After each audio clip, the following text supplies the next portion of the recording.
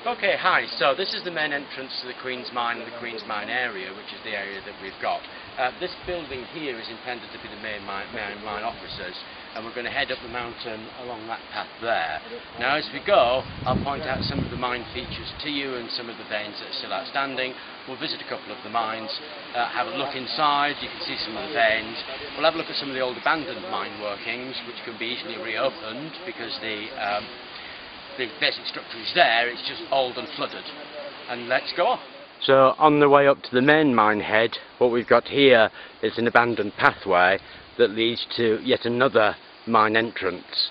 As I said, this mountain was um, excavated and really discovered by the British, but they abandoned mining here, not because of exhaustion, but because of the end of colonialisation, and it hasn't been touched since. And the place is just absolutely rich in graphite. So this is uh, looking up to the walkway up to the mine head and the uh, university, the head of uh, geology came down here and he scanned this area and um, running down that hill that you can see there, there are further eight veins running down this hill in this section here. Okay, we're now at the entrance to the abandoned Queen's Mine, which is also on the land that we have the rights to. And you can see the veins still running in the rock over there, was playing the light on that vein. Now the British uh, mined this and the reason they pulled out was because of the end of colonialisation. This mine still has a ton of graphite in there. Now if we look towards the entranceway of the mine you can see the old road there that's long since overgrown and in the side of the rock you can see the old drill holes that they were drilling in order to break this rock up. So we're not talking about a great deal to actually get this mine back into operation and to be pulling out some high-grade graphite. Again, all these veins are all part of the vein structure that we're exploring and mining, and we have the rights to this. Okay, so you can actually get a measure of the size of that vein there. Hand it on the Papa. Hand it. Hand, hand. Hand on. Touch ground. If we look at Bappa's hands and the thickness of that vein, and this is just scratching the surface. Okay, we're now in the abandoned tunnels and we've gone to the limit of where the water flooding starts. And you can see Bappa is there showing you how deep that water actually is. And if you look over to the side there, Bappa? Oh. Huh? Egg pen under. Uh -huh. So you look over to the side there is shining a light. You can see more veins of graphite. And pretty substantial veins as well. They're about 8, 10 inches in thickness in places. Absolutely astounding. This place is littered with this stuff. So at the moment we're standing on a ridge between two old mine entrances. So down in that bottom of that ridge there is one old entrance. And if we go across here, down the bottom of that ridge there, is another old mine entrance. And our mine intersects all of this. so basically, the whole mountain is laced with veins of graphite and we're the only ones mining here and we have the rights to it and it's all over the place.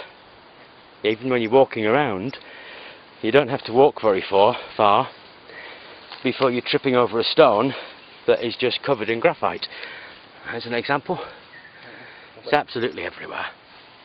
So to give you an idea of the mine's location, we're now coming up to the top platform of the mountain and you can see the valley below and the other mountains across there. What a beautiful view. So this is one of the uh, secondary mine entrances they've got. This is from uh, an abandoned uh, attempt at mining and um, there are veins down there and a lot of water. So here we are in the secondary entrance. Bappa is there. Is there showing the water flooding, so we've got quite a lot of flooding there as we go through. But the vein we're actually following is up there in the ceiling. That vein joins up. So we're about half a kilometre from the other mine entrance now, and you can see the vein there, and it follows up along there.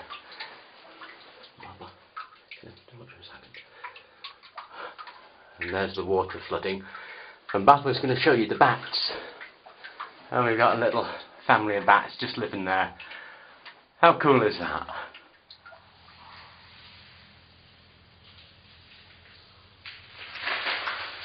Hi guys, we're at the bottom of the first shaft, so if you'd like to follow me, I'll give you the grand tour. So we were tunnelling through here, coming through, obviously we did have a look to the right, but as we were going right, we actually found that more veins were down here, so we decided to pursue the path down here. So as we come through, what I'll do is I'll point out the veins as we intersected them. So one of the common traits of a good mine is that you have a lot of few veins in five feet sections, and then these veins will join underneath. So if I came down here, and then I'll point it out, there we go. So as you can see here, it's a very small one, but that was the first small vein that we intersected. And then we kept drilling.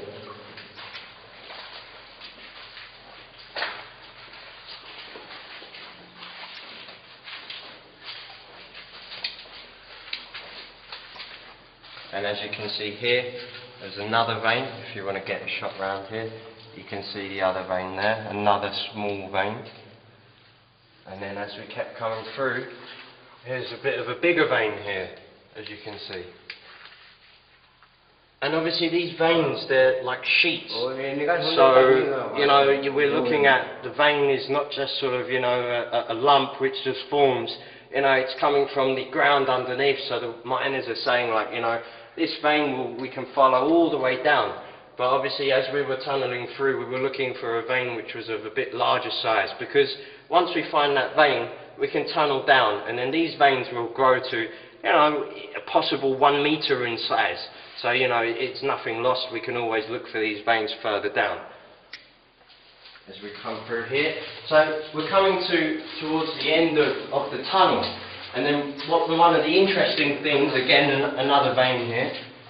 So that was another vein that we intersected. And then one of the amazing parts that we came down here was, as we, if you can imagine that they're sort of drilling uh, into this cave as you will have.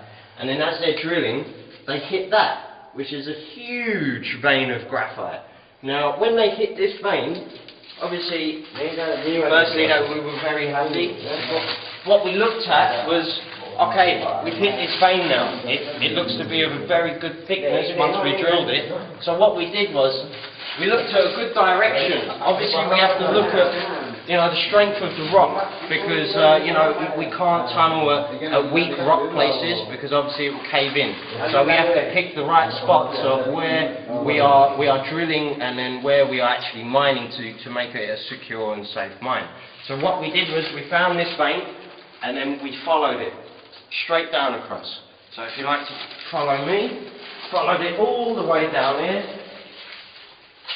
Obviously you can see the thickness of it was in there.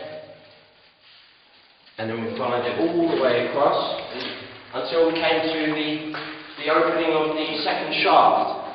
So this is where we got up to, and then we followed it down now.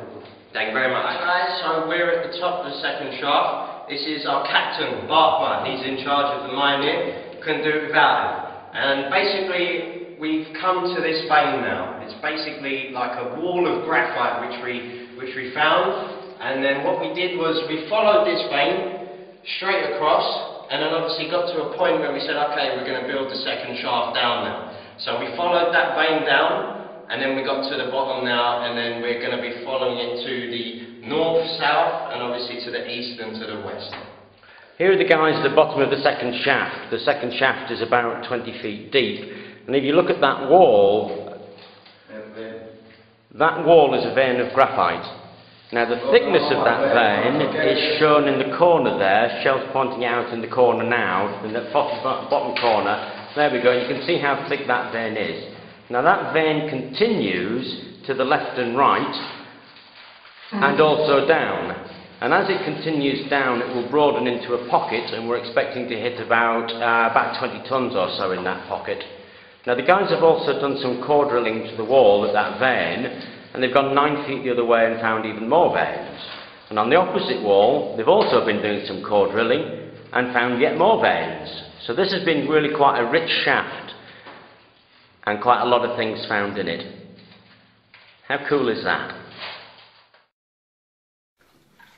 So here we are at the bottom of the Queen's Mine. We're about 20, 25 feet down from the first shaft. This is the current vein that we're following here.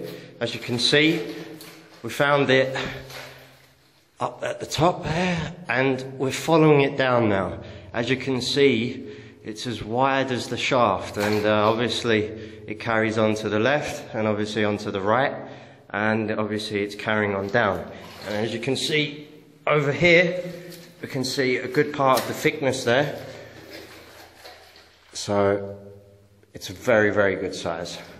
A very good size and we're following this down and uh, the experts are saying that in about five to ten feet time we will follow into a pocket which can be of any size up to five up to 20 tons in a pocket so uh, we'll keep you posted